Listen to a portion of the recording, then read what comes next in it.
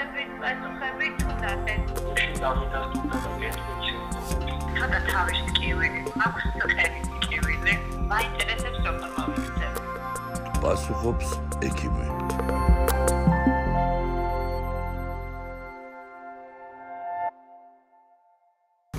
საღამოშვიდობის ეთერშია გადაცემა პასუხობს. ექიმი მეკი მისი წამყვანი დოკა ბაღათურია ვარ. ქვეყანაში არსებული მძიმე ეპიდვითარების ფონზე სულ უფრო და უფრო მეტად რთული ხდება ოჯახის ექიმთან დაკავშირება. სწორედ ამიტომ რეგიონალურ მაუწყებელთა ალიანსი ადგილობრივი ტელევიზიების ჩართულობით ორშაბათიდან პარასკევის ჩათვლით პირდაპირ ეთერში გთავაზობთ გადაცემას პასუხობს ექიმი. მოსახლეობის შეკითხვებს პირდაპირ ეთერში კვალიფიციური მეტპერსონალი უპასუხებს გადაცემაში ექიმებისა და ეპიდემიოლოგების ჩართულობაზე საქართველოს დევნილთა შრომის ჯანმრთელობისა და სოციალური დაცვის სამინისტრო უზრუნველყოფს. მე შეგახსენებთ, რომ ნებისმიერი კითხვა, რომელიც COVID-თან მიმართებაში გაგიჩნდება, შეგიძლიათ გამოაგზავნოთ მეცხრე ტალღის პირად Facebook გვერდზე ან დარეკოთ ცხელხაზზე 557-37-31-37 და პირდაპირ ეთერში დაუსვათ შეკითხვები მედპერსონალს.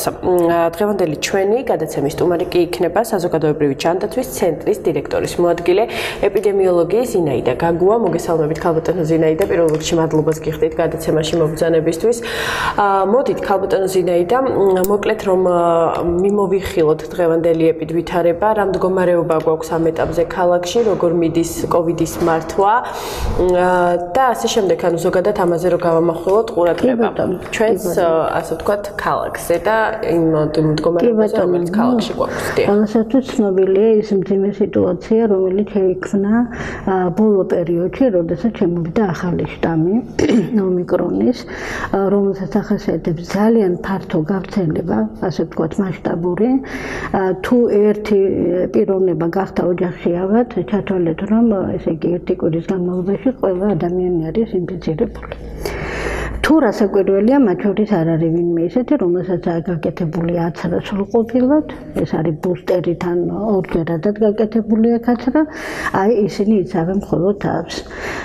ერთი დადებითი რაც აქვს ამ ომიკრონის შტამს, ეს გახსოვთ, რომ დაავადება მიმდინარეობს მსუბუქად და საშუალო სინძიმით. ეს უკვე დამოკიდებულია იმაზე თვითონ, ესე იგი, აცრის სტატუსზე და პლუს ამას კიდევ ასაქსეც და მის თან თანხლებ დაავადებაზე. ზოგადად კორონავირუსი იწვევს ყველა თანხლები დაავადების პროვოცირებას. აი ეს მომენტი აქაც ამ ომიკრონის შემთხვევაშიც ნათლად არის გამოხატული. რაც შეეხება ზოგად სიტუაციას, ჩვენთან ქალაქში პირველი შემთხვევა 2020 წლის 4 სექტემბერიდან ფიქსირდა ეს იყო ჩვენი ადგილობრივი შემთხვევა. ამის შემდეგ ჩვენ რამდენიმე ტალღა გამოვიარეთ და სრულ ჯამში 18000 დღის მონაცემები, 18007 კაცი ინფიცირებული. აქედან 127 გარდაცვლილი არის, რაც ჩვენ გვყავს რეგისტრირებული, ანუ რომელთა ესე იგი ალბათ მოხდა სტაციონარის პირობებში და ერთ-ერთ შემთხვევაში ბინებს ბინაზე. მაგრამ ეს ნამდვილად არ არის ის ციფრი, რომელიც სრულად ასახავს აი ლეტალობის შემთხვევებს. უფრო მეტ მეტია საზოგადოდ. დაახლოებით 16000-მდე არის გამოჯანმრთელებული. დღეს მონაცემებით ჩვენს სტაციონარებში, ესე იგი საქართველოს მასშტაბით, სულ არის ფოთელი 81 ადამიანი, რომელიც წევს სტაციონარის პირობებში და გადის სტაციონარულ მკურნალობას. დანარჩენები არის დაახლოებით 2300-მდე არის ბინაზე მკურნალობას, ვინც გადის ეს ეს საკმაოდ დიდი პროცენტია და რიცხვია იმისა, ვისი მართვაც მარტივია ბინის პირობებში, იმიტომ რომ ჩვენ ამდენი ოჯახის ექიმი ნამდვილად არ აგვყავს. რომელიც გაწუდება მათ მომსახურეობას. სწორედ ამიტომაც შეიქმნა ეს გადაცემა, იმიტომ რომ მაყურებელმა კითხვები პირდაპირ ეთერში დაუსვას ოჯახის ექიმს და ამ მწურავი პასუხები მიიღოს, იმიტომ რომ როგორც თქვენ აღნიშნეთ, საკმაოდ რთულია ოჯახის ექიმებთან დაკავშირება, მაშინ, როდესაც დღის განმავლობაში 1000-ობით და 10000-ობით ახალი ინფიცირების შემთხვევებია და ეს რა თქმა უნდა საზოგადოებისთვისაც გასაგები უნდა იყოს, იმიტომ რომ ამდენი მეტპერსონალი ფიზი მეტპერსონალი ფიზიკურად ვერ აუდის. ვერ აუდის. რამდენ რასაკვირველია. ინფიცირებულს და რა თქმა უნდა ჩვენ წინა გადაცემებში ოჯახის ექიმთან ამაზე ვისაუბრეთ კიდეც. აა უშუალოდ ომიკრონის შტამს რომ შევეხოთ ძალიან ბევრი კითხვა ზოგადად მოდის აი ზუსტად ომიკრონთან მიმართებაში. რამდენ ხანს გრძელდება აი ომიკრონის ასე ვთქვათ აგრესიული შეტევა? აა მე რასაც ვაკვირდები, ხო, თითქმის 80% პაციენტებისას ჩვენ ეპიდემიოლოგები ვესაუბრებით და გამომდინარე აქედან მე ჩემი დასკვნა ასეთია, რომ პირველი 3-4 დღე არის ძალიან მწვავე.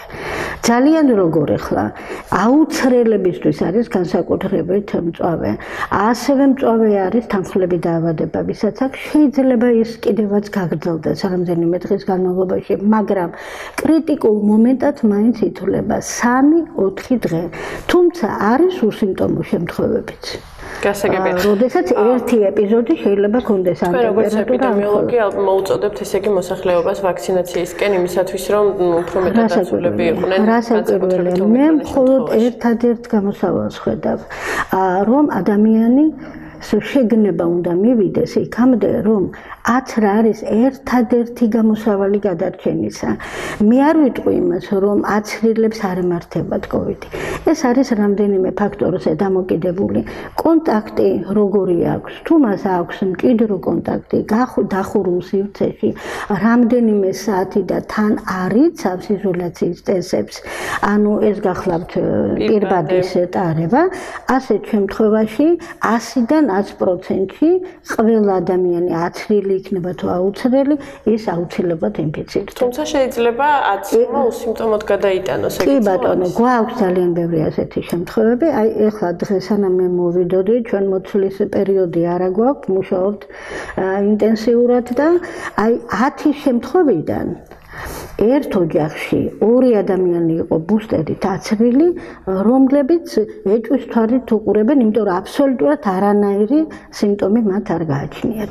აი, ამიტომ გამოსავალი არის მხოლოდ ერთი, რომ როგორმე ავიცრათ, შეიქმნას ვაქცინაციის ფონი უნდა შეიქმნას ისეთი, რომ იმ დანარჩენებმაც აირიდონ თავიდან გამომშავდეს კოლექტიური იმუნიტეტი, რომ თავიდანვე საუბრობდნენ ეპიდემიოლოგები და ექიმები. კარგით, ქალბატონო ზინაიდა, მადლობა. ჩვენ მოდით ახლა გადავიდეთ ჩვენს უშუალოდ ყველაზე მნიშვნელოვან, ასე ვთქვათ, ბლოგზე, ეს არის კითხვა-პასუხის რეჟიმი. აა ჩვენს Facebook გვერდზე არის რამდენიმე კითხვა შემოსული უშუალოდ პაციენტების და ამ კითხვებს გავაჟღერებ. ახლა მე პირდაპირ ეთერში და მათ იმედი აქვს, რომ ამ უმწურავ პასუხებს მიიღებენ თქვენგან როგორც ეპიდემიოლოგისგან და ექიმისგან, რა თქმა უნდა. პირველ გამარჯობა, ჩემს 6 წლის შვილს დაუდასტურდა ომიკრონი 9 თებერვალ 9 თებერვალს 3 დღეა მაღალი ცხელებით. მე-13 დღეს ისევ მისცა სიცხე 38-იო და რა შეიძლება ასეთ დროს მოვიმოქმედოთო.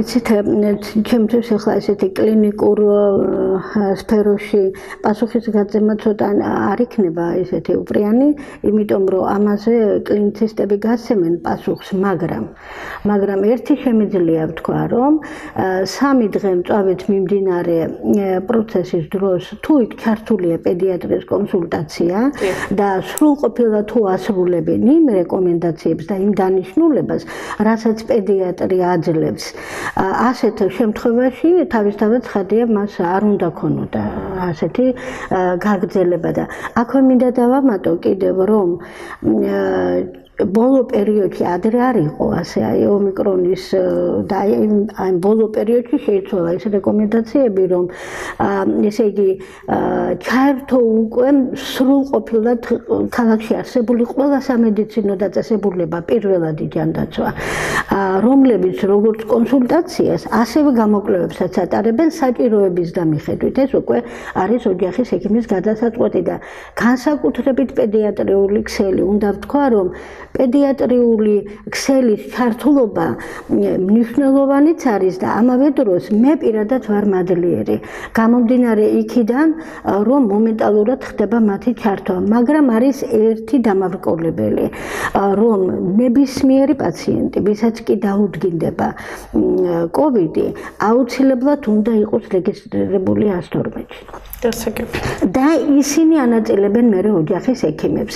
ასე რომ თუ ეს რეგისტრაცია მან გაიარა პაციენტმა თუ გაიარა მაშინ რასაკვირველია ბავშვთა ეს კოლექტივი მაქვს მე მხედველობაში ბავშვები ბავშვებისთვის ესე იგი პედიატრი რომ არ გაესაუბრა არ არ ჩაერთო კონსულტაციაში და გამოკვლევებში ასეთი ფაქტი მე ვერ ვაფიქსირებ ასეთ მაგრამ ზოგჯერ არის ხოლმე როდესაც ამიტომ შობლებს მინდა მიმართო განსაკუთრებით ნებისმიერ ადამიანს. როდესაც მე ვთქვი რომ 3-4 დღე არის მწვავე მიმდინარეობით აი იმ დროს რო გადალახავენ მე ატოვებენ კურნალობაც არ მიდის ალბათ და სათანადო ყურადღებასაც არ აქცევენ. აი ამ ეს არის შედეგი სწორედ იმ უკვე მე რამდენი მე დღის მერე ისევ განმეორებითი რეინფექციისა. გასაგებია. აა შემდეგი კითხვა, ომიკრონი ანტისხეულებს გამოიმუშავებს თუ არაო აინტერესებს ერთ-ერთ ჩვენს მაყურებელს, რადგანაც აა უნდა რომ თავი ერთი თვის განმავლობაში მაინც იგრძნოს დაცულად, როგორც თვითონ იწევს. აა რასაკვირველი ომიკრონის და ისე როგორც სხვა შტამები თავისთავად ხადია რომ ანტისხეულებს გამოიმუშავებს. თუმცა მაშინ ჩაგეკითხებით რატომ ხდება ეგრევე რეინფიცირება თუ ესეა? აა იცით რა ეს ორგანიზმზეა დამოკიდებული? ორგანიზმი ესე იგი რამდენად მზად არის იმისათვის რომ რომ გამოიმუშავოს იმუნიტეტი. გასაგებია. კარგით, შემდეგი კითხვა. საღამო მშვიდობისა უკ წერს ერთ-ერთი ჩვენი მაყურებელი. დაახლოებით 1 თვის წინ გადავიტანე COVID-ი, ყნოსვა დავკარგე 100%-ით და უკვე სერიოზულად ვღელა, მგონი დაბრუნებას არც აპირებსო. წერს პაციენტი. ისეთ რა, ყნოსვისა და გემოს და დაკარგვა ერთ-ერთი სიმპტომი არის კორონავირუსისთვის დამახასიათებელი. მაგრამ აუცილებლად დაუბრუნდება, მხოლოდ ამას გარკვეული დრო უნდა. კი ბატონო. აა ძალიან კარგი, იმედია რომ დაუბრუნდება. შემდეგი კითხვა. აა გამარჯობა უკ წერს ჩვენი მაყურებელი ომიკრონმა იცის თუ არაო ცილიანობის მომატება. აა იცით რა, ესეც ინდივიდუალური მომენტია. მედიცინაში საერთოდ აბსოლუტური და 100%-იანი არაფერი არ არის. არის გარკვეული რასაკვირველია და ყველაფერი არის შედარებით ინდივიდუალური. არის შემთხვევები, როდესაც იცის ზილიანობა, საერთო სისუსტე, მივარდნილობა, ესეც რაღაცა გარკვეული პერიოდით. და არის პირიქით იცის აღზნებადობაც, როდესაც ვერ იძინებს. და ჩვენ მაშინ კლინიცისტები ურჩევენ, რომ დასამშვიდებელი მსუბუქი რა გასაკვირველია რომ დიახ მცენარეული რომ მიიღოს. ასე რომ ესიც ახასიათებს და პირიქითაც ხდება ხო იყო ჩვენს ეთერში სხვათა შორის კითხვა ინსომნიასთან დაკავშირებით რომელიც განუვითარდა კოვიდის შემდგომ ან პოსტკოვიდურ პერიოდში და ალბათ ასე დროს მიჩნდება მსგავსი მედიკამენტი. რა თქმა უნდა მე როგორც მატყობინებს ჩვენი პროდიუსერი სარია ეთერში მოვუსმინოთ კი ბატონო გამარჯობა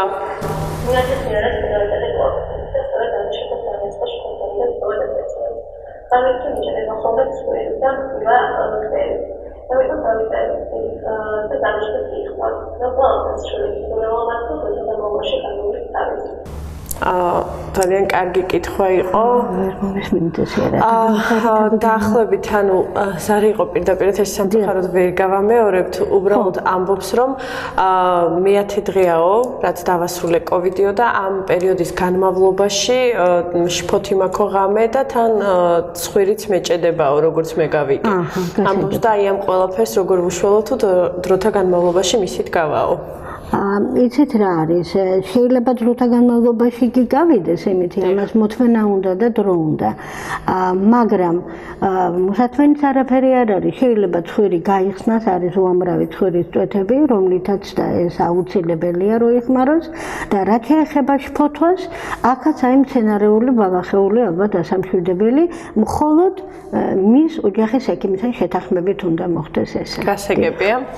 აა კარგით მე შემდეგ კითხვას წავიკითხავ. კოვიდის შემდეგ თმის ცვენას როგორ უშველო უწერს ერთ-ერთი ჩვენი პაციენტი. იცით, ესეც სამახასიათებელია კოვიდისთვის სამწუხაროდ. ну, ამას უკვე სპეციალისტი გადაწყვეტავს, მე ხა ნამდვილად არ ვიცი მსგავსი ვიტამინების ჩართულობა კი ბატონო, ვიტამინების ჩართულობა ისედაც აუცილებელია იმუნიტეტის გასაძლიერებლად და მიკროელემენტების, ესე იგი კომბინირებული პრეპარატები, რომლებიც როგორც ვიტამინებს შეიცავენ, ასევე მიკროელემენტებსაც შეიცავენ. აი, ამიტომ თავისთავად ხადია, ყველა COVID ინფიცირებული, ყველას, რომელსაც აქვს უსიმპტომოზე არა მაქვს ლაპარაკი, აი, მსუბუქი და საშუალო სიმძიმის შემთხვევაში, რასაკვირველია, ყველას ენიშნება მიკროელემენტები და ალბათ ესეც არის ერთ-ერთი აუცილებლობა იმისა, რომ აი ეს გათვალისწინებ, რომ გაითვალისწინო, რომ თმის ვენაც იცის. გასაგებია. ქალბატონო ზინაიდა თქვენ ხა ხაზგასმა გააკეთეთ უსიმპტომოებზე. აი მაგალითად თუ ადამიანი უსიმპტომოდ არის, მაგრამ დაუდგინდება კორონავირუსი, რამდენად შეიძლება მან დამატებით მიიღოს სხვადასხვა სახის ვიტამინები? აა იცით რა შეა საქმე? ახლა ჩვენ რასაც გვაძლევენ რეკომენდაციებს, ხო? ასევე კლინიცისტებსაც, ხო? და ერთ რამეში ერთობლივად ხდება ეს ერთი აზრი არსებობს, რომ უსიმპტომო შემთხვევის დროს ზოგადად სიმპტომატიურია მკურნალობა, იცით, თქვენ კორონავირუსის დროს თუ რასაკვირველია მძიმე ფორმა არ არის და თუ ანტივირუსული მკურნალობა არ არის საჭირო.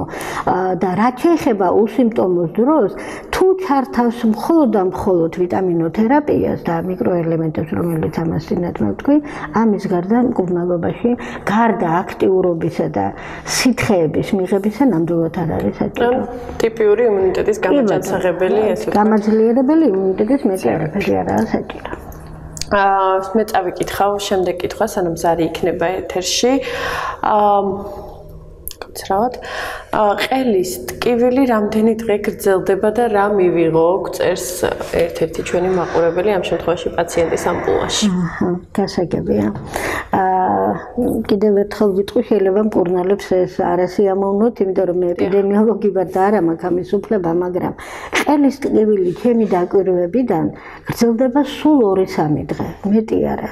ზოგს უფრო ნაკლებიც. განსაკუთრებით ომიკრონის შემთხვევაში ტკივილსაც არ გავს ეს. ეს არის რაღაც უსიამოვნო შეგრძნება. თვითონ ომიკრონი აზიანეს ზედა სასუნთქგზას და განსაკუთრებით ოროფარინგიალური მოვლენები ახასიათებს.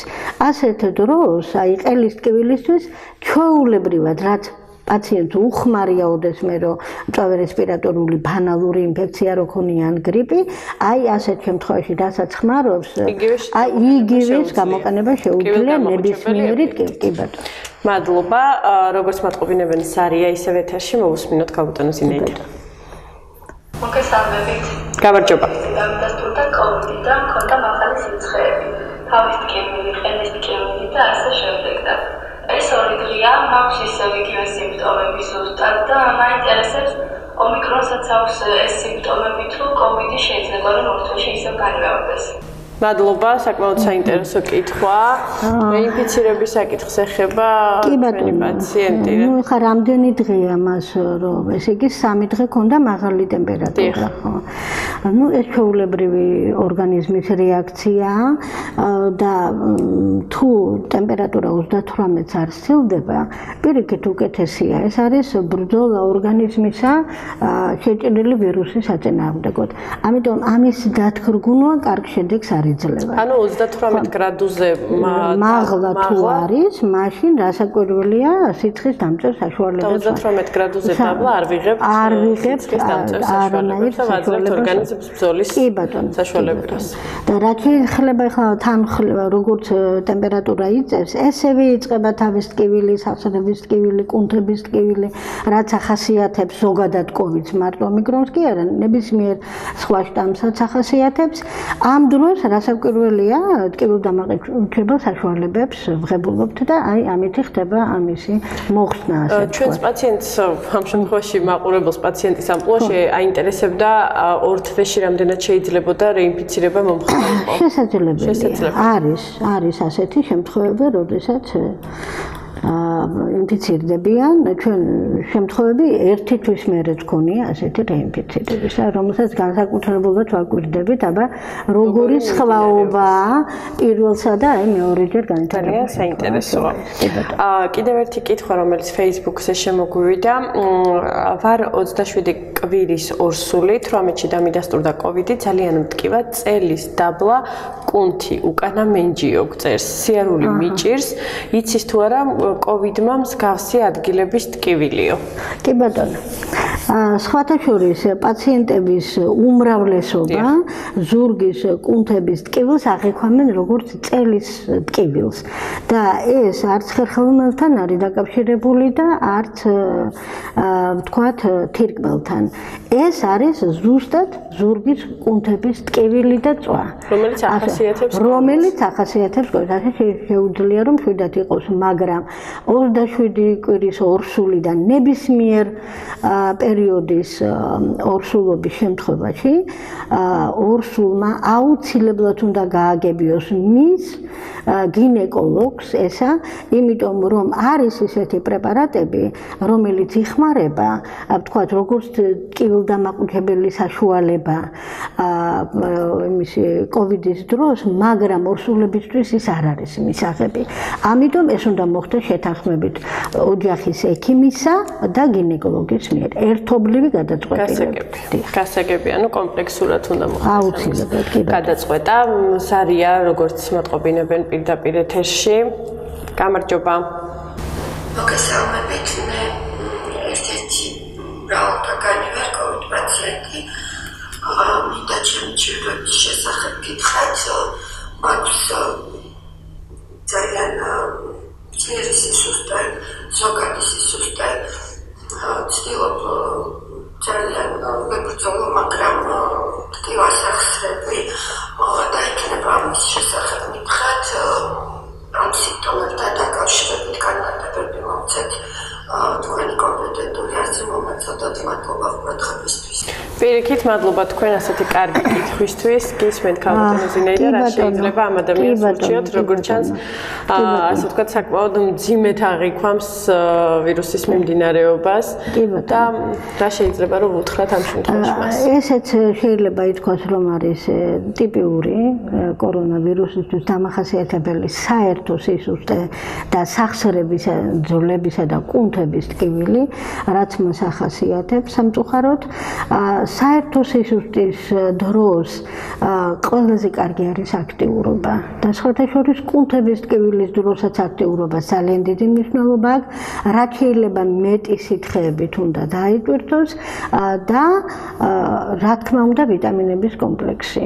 აუცილებლად მიკროელემენტები ხო კი თქვენ როგორც ეპიდემიოლოგი როგორც ექიმი. აი რასაც უყურებ ახლა მე პაციენტებს იქიდან გამომდინარე. ისე უკეთესი იქნებოდა რომ თავის ოჯახის ექიმს ვინც არის, აი იმას რო დაეკითხოს, შეიძლება უფრო დამატებით სხვა რამეებიც უჩიოს. ძალიან კარგი, ქალბატონო ზინაიდა მე წავიკითხავ ახლა ბოლო კითხვას, რომელიც ამ ეტაპზე შემოსულია ჩვენს Facebook გვერდზე. აა გამარჯობა, კოვიდის დადასტურებიდან ანალიზებს რამდენ დღეში აკეთებენო? წერს ერთი ერთ-ერთი ჩვენი მომხმარებელი და თან აინტერესებს, რომელი ტკივილ გამაყუჩებელი შეიძლება გამოიყენოს თავისა და ძვლების ტკივილის დროს, თან ისეთი რომ სიცხეც დამიწიოს. აჰა, ამისთვის თავისუფლად გამოიყენებს ნუროფენს ან იპუბროფენს, რომელიც ხსნის კუნთების ტკივილსაც და ამავე დროს ტემპერატურასაც არეგულირებს. ეხლა რა შეიძლება გამოკვლევებს? დიახ.